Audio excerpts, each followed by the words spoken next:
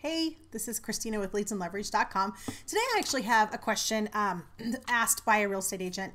They wanted to know which, what or which content is the most boost worthy. Boost worthy. I'm holding the question here. Um, and that's a kind of a loaded question, but there's there's a couple things to uh, keep in mind first of all, um, aside from the fact that you shouldn't be using the boost post button, you should actually be doing this in ads and using it, you know, writing your post, putting it out, and then boosting it through Power Editor is what you should be doing.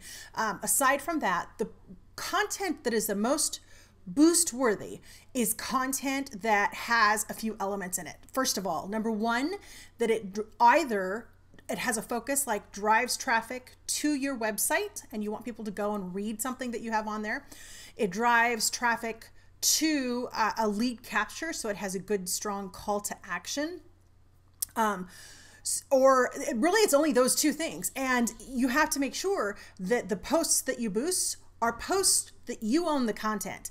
If you boost, you know, say you put out, uh, you go to NAR uh, or realtor.org or whatever, and you share an article. You didn't write that article. And even if you did write that article, you're still, driving. if you pay to boost that, you're driving traffic to another website, to another source. You want to drive traffic to your website so that you can retarget that traffic and reach that traffic again, or you want to drive traffic into a lead capture where they give you their information in exchange. So those are the two posts that you should be quote unquote boosting um, as long as it drives traffic for ways for you to retarget or reuse that traffic in some way.